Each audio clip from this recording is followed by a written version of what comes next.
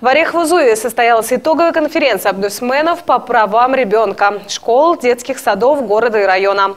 Такой термин уже давно присвоили уполномоченным по правам человека. На этот раз темой заседания стали результаты третьего областного конкурса творческих работ учащихся и координации работы всех ведомств для защиты прав ребенка.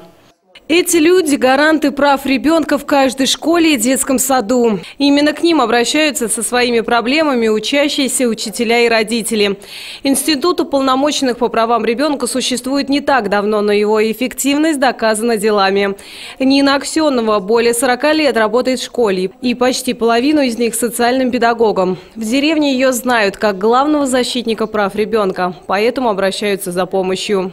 Летом Ко мне обратились жители дома номер 6 по улице, ну, по Малой Дубне, где я проживаю, они сообщили, что в квартире 33 с июля месяца в течение трех дней проживает неизвестный мальчик 10 лет, который с утра до вечера на улице всегда один.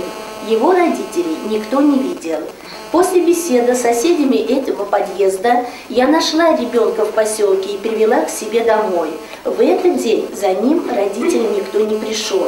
От него я узнала, что мама сняла квартиру и приезжает очень поздно.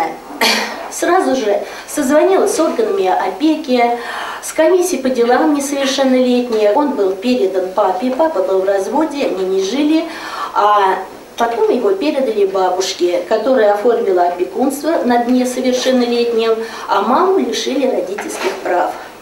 В этом году за свою работу Нина Аксенова была отмечена на областном конкурсе уполномоченных по правам ребенка дипломом второй степени. За три года существования смотра Орехово-Зуевский район остается в лидерах.